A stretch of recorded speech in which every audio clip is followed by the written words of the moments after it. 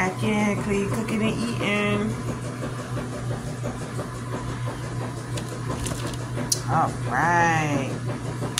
Let's see what's about to happen. We're gonna make a veggie ravioli.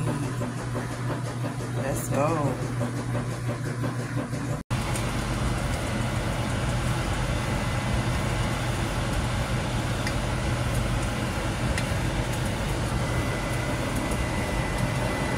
All right, I'm going to start out with just a um, kind of like a semi-boil to soften up my veggies before I stir fry them for my ravioli. Let's go, clean, cook, and eating. Okay, I went ahead and added the ravioli. Now we get salt together.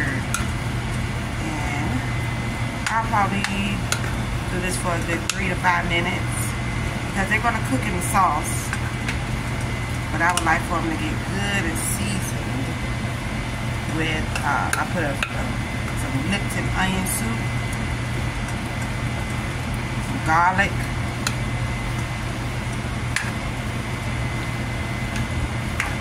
so I'm going to cut it off. Just let that steam a little that airtight pot. Coming in, coming in.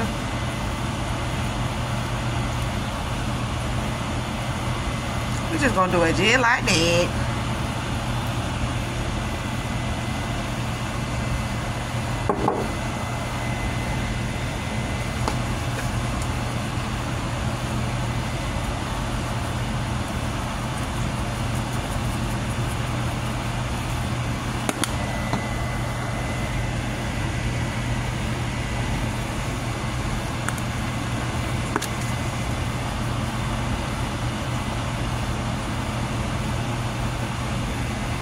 Love my garlic.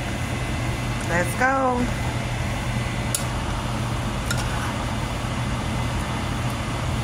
So everything has been softened, but it's not done. So it's going to get done in the sauce.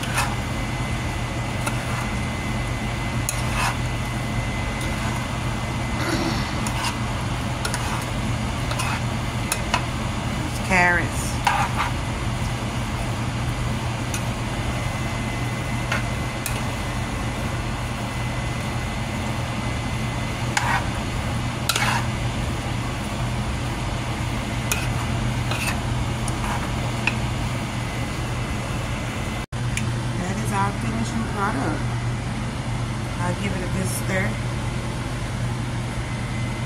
Presentation look better on the plate. Veggie ravioli. Let's go.